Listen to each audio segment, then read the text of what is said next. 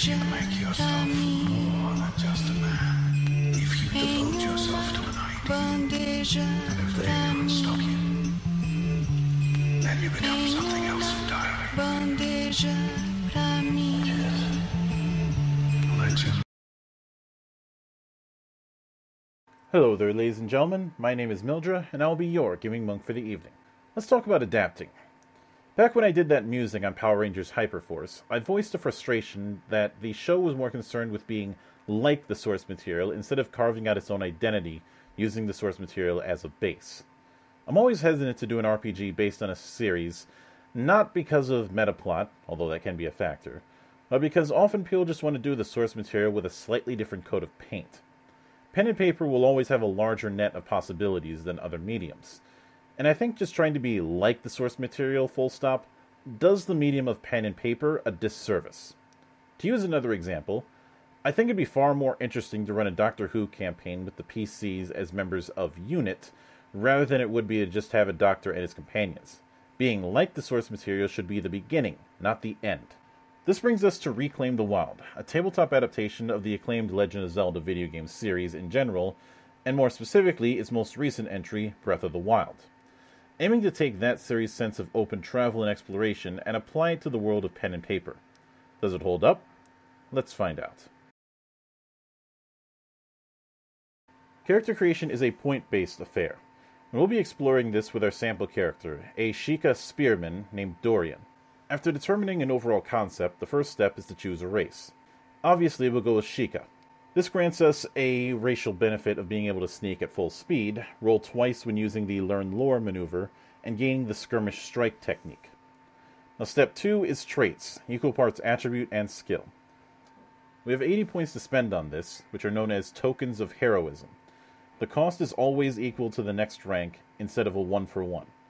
At character creation, no trait can go past 5, and obviously all traits start at 1.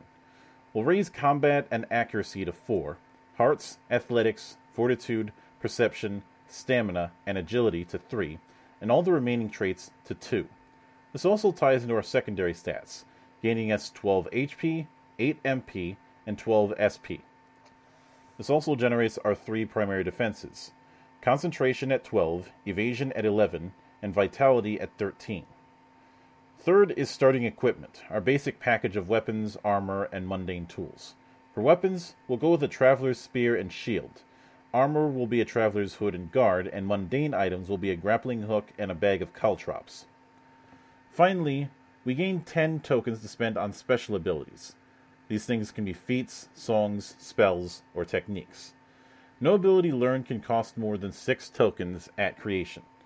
In our case, we'll be going with the Yiga Yodome Jutsu as a feat, as well as the combo technique. Now, normally, I'm a bit apprehensive about character creation methods that pull the trope of, here's X amount of points, you figure it out. But this one managed to break that issue by offering a set of packages at the trait and equipment level that can be customized.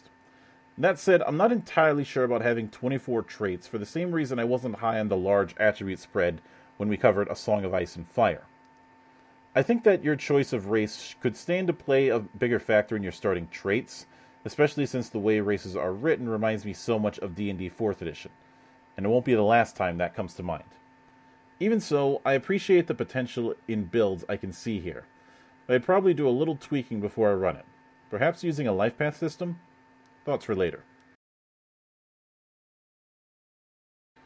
Reclaim the Wild's main mechanic is a 2d6 system. This is rolled and compared to a target number after adding a trait and any other modifiers. Snake Eyes are a botch, and Boxcars are critical, but not necessarily an automatic success. Occasionally, there's some form of a luck roll that can happen, but not often. It's a decent setup, but I think it'd have a stronger input if it took a approach similar to skill combos in AMP, a game that I hope to cover in the future. Some effects do, but not enough in my opinion. Now, combat is a grid-based affair that, again, seems to have much in common with D&D 4th edition in terms of presentation, especially when it comes to attack zones and economy of actions. That said, I love that there's a variety of actions that can be taken instead of just basic attacks, and magical weapons have their own basic attacks as well. Combining this with the potential actions through techniques and spells makes for a combat system that carries a surprising amount of depth. All the better are the alternate modes that can increase or decrease grit in combat, but it does still have the durability setup that was controversial in Breath of the Wild. But of course, that's only the start. There's a great deal of emphasis placed on exploration, haggling, and crafting custom equipment that's impressive for this kind of game. The expansion book also details city management to add another layer of possibilities. So it's clear that customization and personalization were at the forefront of Reclaim the Wild's design.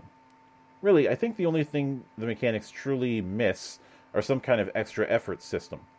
And before you ask, no, the luck rolls don't count. When I set out to tackle a tabletop Zelda for a review, I passed on a few that I felt were just their standard game with a Zelda skin on it. In other words, they're more focused on being like a Legend of Zelda video game than about role playing in, say, Hyrule.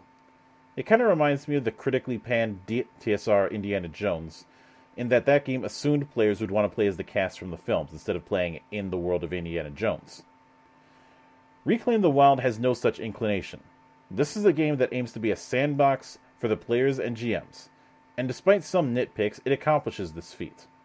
While I suspect the game favors hex crawls over more structured affairs, that's not to say it couldn't do the latter. And as such, I can confidently give the game a stamp of strongly recommended. Being a free game, there's no reason to not give it a skim.